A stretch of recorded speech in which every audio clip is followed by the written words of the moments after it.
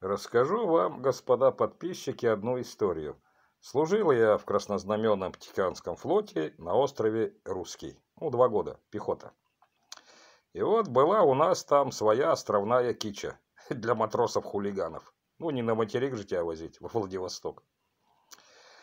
А первый раз я угодил на нее в 83-м, ну, уже на втором году службы, не молодой. Молодому туда лучше не попадать. Дедушки тебя там зачмурят, блин. И командовал этой кичей старший мичман Сальников. Лично еще с ним познакомился. Выгонит всех из камер, построит на продоле вдоль стены. Сапоги прогары снять. И пошел под стельками чинарики со спичками искать, гад, блин. А второй раз уже побывал в 84-м. Что-то месяца два или три служить оставалось. Ну, уже под дембель, под самый.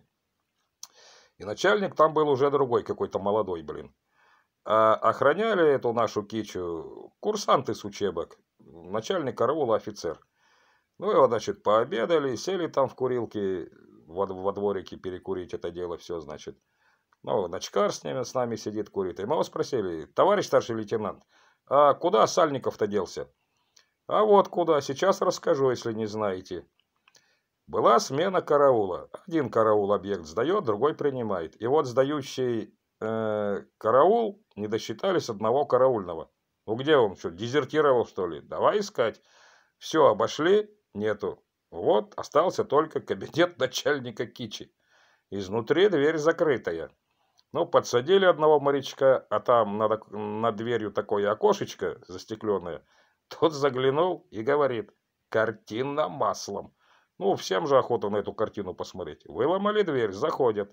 Вот она, картина маслом. На столе закусочки, напитки, а на диванчике лежат два голеньких тела. Спят усталым глубоким сном.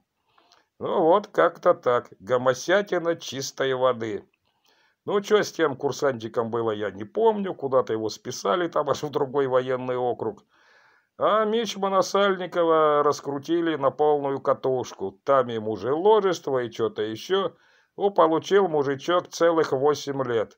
Вот так вот бесславно закончилась его карьера. Ну, что, блядь, не хватало, а? Вроде ты при должности, все у тебя есть. Гомосятины захотелось. Вот как-то так. Вот и получил он за эту гомосятину. Вот если кто в эти года служил на острове Русском, огромный пламенный вам привет. Не забывайте службу, не забывайте своих друзей по службе. Всегда общайтесь друг с другом, хоть мы уже и не молодые.